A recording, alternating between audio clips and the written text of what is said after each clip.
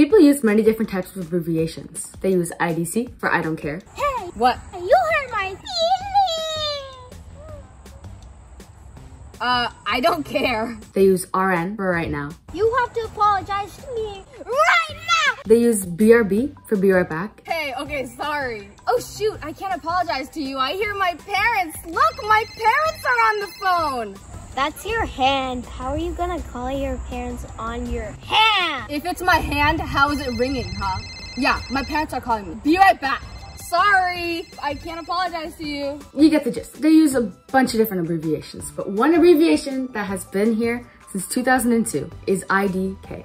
It stands for I don't know. Here are some reasons why someone would use the abbreviation IDK. They're texting and they don't want to type out I don't know, so they use the abbreviation IDK because it's a lot faster and easier. Number two, they're talking in person with someone and the other person just asked them a really weird question that has nothing to do with anything. So then they're like, I don't know. What's your favorite movie quote, Saadhvi? I'd like to know.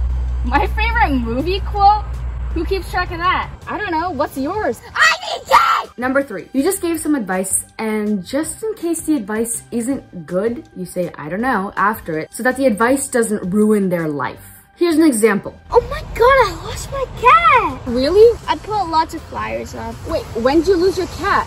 Um, yesterday maybe? Yesterday night or morning? Uh, I don't remember. You lost your cat yesterday. You could probably like go to the police station or something and maybe yeah, you can probably go to the police station and then ask them to file a report. I think I think they do it for cats too. And then you can also put up flyers like you said. That's actually a really good idea. That is awesome advice, Saadhvi! Seriously, I really hope you find your cat. Jeez. Yeah, his name is Fuzzy. I miss him so much. What if that advice doesn't work? I mean, I've never done it before and I don't really know, so maybe I should tell him that I don't know. Okay, but like you could do all that stuff. I've never done it before, so I don't know though, but it'd probably be a good idea to give it a try. But I I don't actually know, okay? Thank you so much! IDK could stand for a bunch of different things, but the main thing that it stands for is obviously I don't know, and so many people use this one, especially me. That's why I use this one so often, because there's so many things that I don't know. Like, I don't know how to juggle. I'm trying to learn. I can kind of juggle, right? I can do it too. I can go like this. Oh, wait. I can walk around. I don't know how to do it with three. I can kind of do it with three, but I can't do it that well. I'm trying to learn how to do it with three. I can talk and walk with three, which is good. I can't do it that well. I don't know how to bike with zero hands. I can bike one-handed, but I can't bike zero-handed.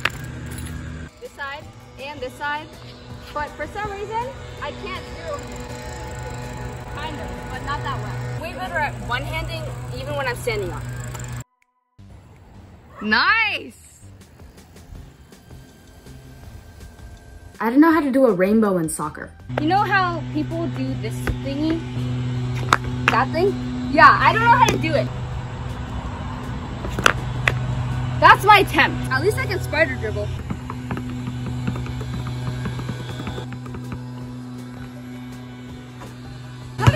That? I don't know how to drive. Yeah, I'm not old enough to drive, but I can try though. I don't know how to snap my fingers. I can clap, but I can't snap. Wait, I don't know how to parallel park. Okay, so I can't parallel park because I can't drive, but seriously, I can try though. Since I don't know so many things, I get really, really sad. So then I changed the entire abbreviation's meaning from I don't know to a bunch of other things. Here are some other things that IDK could stand for. I drive kites. I don't own a kite, and I can't drive, but seriously, I can try. Imagine doing kayaking. So I don't live anywhere near water, and also, I don't own a kayak, so this is gonna be my kayak. I drink Kool-Aid. Oh my god, it's the Kool-Aid man! I'm the Kool-Aid man.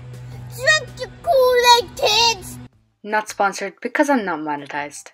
So that was everything that you need to know about the abbreviation IDK, which stands for I don't know. I don't know how many times I have said that. If you still don't know what IDK stands for, watch the video again. This was a really random video. I don't know how I actually got this idea, but it was really random to record, but somehow it was fun. And hopefully you enjoyed it just as much as I enjoyed making it. Make sure to subscribe if you haven't already. I am very close to 100. I only need six more subscribers. Seriously, if you're new or if you haven't subscribed yet, make sure to subscribe. Thank you so much for watching this, and I hope you have an absolutely amazing day. Bye!